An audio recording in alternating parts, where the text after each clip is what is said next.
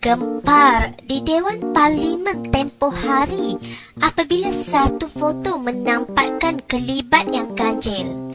Foto itu telah mendapat banyak perkongsian di sosial media, terutama sekali di Twitter.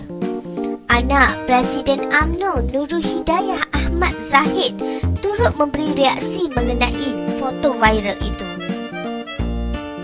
Namun, tidak lama selepas itu, selepas diperiksa, barulah netizen mengetahui bahawa lelaki yang kononnya hantu itu adalah seorang tetamu kepada pengerusi Hindraf P. Veta Morty.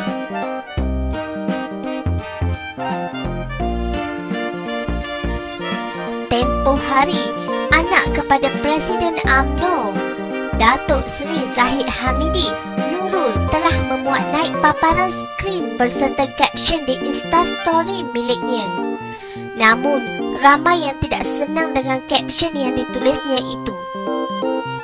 Bagi Nurul, ramai orang salah faham dengan komennya itu.